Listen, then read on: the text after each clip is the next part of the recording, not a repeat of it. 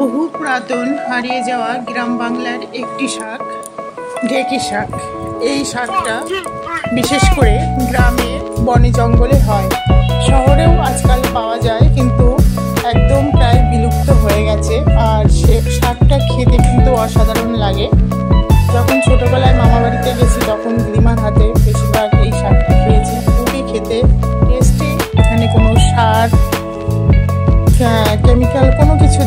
একদম টাটকা, দারুণ একটি শাক যেটাতে খেলে কোনো উপকারিতা ছাড়া অপকারিতা নেই। তা শুরু থেকে শেষ অবধি এই ঢেকি শাকের রেসিপিটা দেখার অনুরোধ রইল। দেখে যদি ভালো লাগে, তাহলে চ্যানেলটি সাবস্ক্রাইব করে অল নোটিফিকেশন অন করে রাখবেন যাতে নতুন নতুন রেসিপি আপলোড হলে সবার আগে আপনার কাছে নোটিফিকেশন যায়। শাকটা প্রথমে আমি পরিষ্কার করে বেছে কুটে ধুয়ে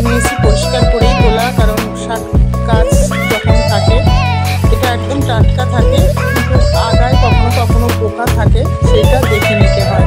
ভালো করে ধুয়ে, জল জড়িয়ে নিয়ে প্রথমে লঙ্কাগুলোকে কেটে নিলাম, আর এর মধ্যেই দিয়ে দেবো। আর শাকগুলি কিন্তু প্রচণ্ড সফট কুচাতে হবে খুব ঝিরিঝিরি করে, খুব ভালো লাগে।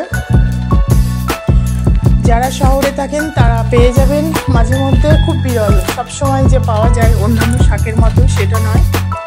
মাঝে মধ্যে পাওয়া যায়। এই শাকগুলো বেসিক্যালি কলার পাতায় মুড়ে বিক্রি করা হয়, কারণ এতটাই নরম যে নর্মাল কোনো শাকের মতো যদি রোদে থাকে শুকিয়ে যায়। তাই সবসময় প্যাকে, প্যাকিং করে বা কলার পাতায় মুড়ে রাখা হয়। আর শাকটা রান্না করার জন্য এখানে বিউলির ডালির বড়ি নিয়েছি। এই বড়ির তৈরি করাটাও নিরামিষ কিচেনে আছে।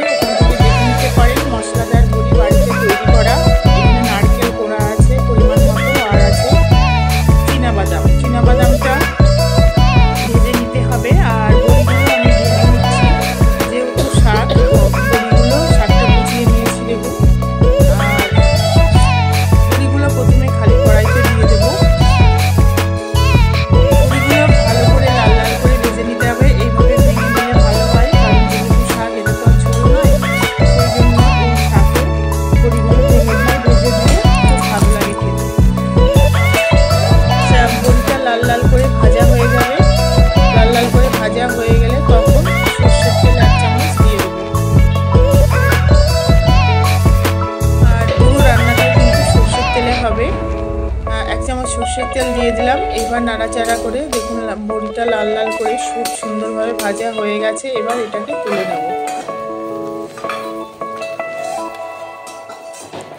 তুলে নিয়ে এইবার যে বাদামটা আছে, ওই হালকা তেল আছে, হালকা তেলের মধ্যেই বাদামটা ভেজে নেব। শাক তো অনেক খেয়েছেন। একবার এই ঢেঁড়ি শাক আপনারা খেয়ে দেখুন, খুবই টেস্টি লাগে।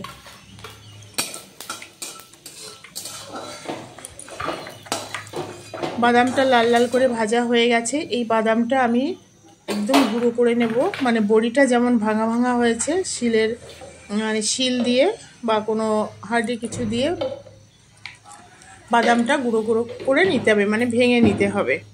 সর্ষের তেল আর একটু পরিমাণ মতো দিয়ে দিলাম। এইবার এর মধ্যে গোটা জিরে দিয়ে দেব। আর কিছুটা পরিমাণ কালো জিরে। কালো জিরে আর জিরের পরিমাণটা একটু বেশি দেব, খেতে ভালো লাগে।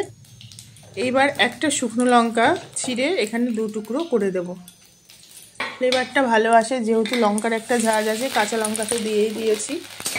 নারকেল কোড়াটা দেব, গ্যাসের ফ্লেমটা লো করে খুব সুন্দরভাবে ভেজে নেব নারকেলটা।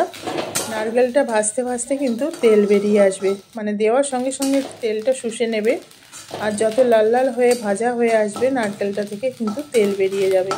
খুব কড়া করে ভাজবো না, একটু লাল লাল হলেই কিন্তু কেটে রাখা শাকটা দিয়ে দেবো।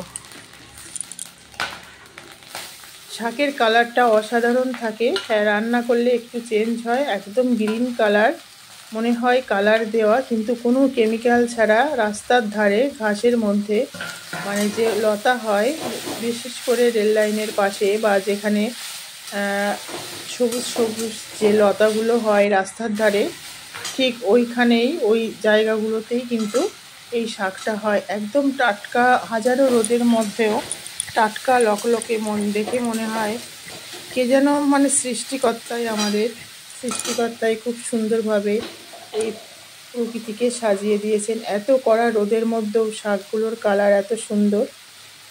ভেজে রাখা বড়িটা দিয়ে দিলাম, পরিমাণ মতো নুন দিয়ে দিলাম, দিয়ে এবার নাড়াচাড়া করে এটাকে গ্যাসের ফ্লেমটা লো করে ঢাকা দিয়ে কিছুক্ষণ রেখে দেবো।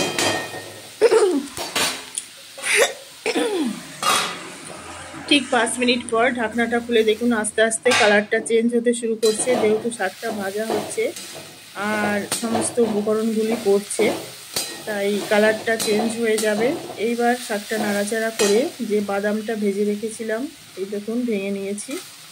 ভেঙে রাখা বাদামটা, ভেজে রাখা বাদামটা একটু টুকরো করে নিয়েছি, এটা দিয়ে দেব। দিয়ে ভালোভাবে নাড়াচাড়া করতে হবে।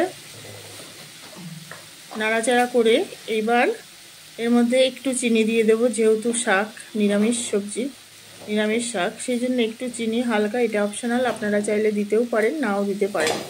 দিয়ে নাড়াচাড়া করব। আর এটা ভাজা ভাজাই হয়, ঠিক এইরকম খুব সুন্দর ভাজা ভাজা হয়। এবার আর একটা উপকরণ দেব দিয়ে নাড়াচাড়া করলেই কিন্তু শাকটা রেডি হয়ে যাবে। আর গরম ভাতে কিন্তু এই রকম শাক হলে মানে ভাত অনেকটা বেশি খাওয়া যাবে। আজকের এই ঢেঁকি শাকের রেসিপিটা কেমন লাগল আপনারা কমেন্টস করে জানাবেন। আপনারা কমেন্টস করলে আমিও মোটিভেটেড হব আরও নতুন নতুন রেসিপি আপনাদের জন্য নিয়ে আসার। আর যারা আমার চ্যানেলটিকে সাবস্ক্রাইব করেছেন, যারা নিয়মিত রেসিপিগুলো দেখেন, সবাইকে অনেক অনেক ধন্যবাদ। আর শাকটা রেডি হয়ে গেছে, এইবার এক চামচ সর্ষের তেল এর মধ্যে দিয়ে দেব, দিয়ে নাড়াচাড়া করে নামিয়ে নেব, গরম ভাতে সার্ভ করব। এরকম নিরামিষ রেসিপি পেতে আপনারা কমেন্টস করুন। আর কী কী রেসিপি দেখতে চান, তাহলে আমিও মোটিভেটেড হব আপনাদের জন্য নতুন নতুন রেসিপি নিয়ে আসার। সবাই খুব ভালো থাকবেন, সুস্থ থাকবেন, সুরক্ষিত থাকবেন। দেখুন কত সুন্দর হয়েছে। Tata bye bye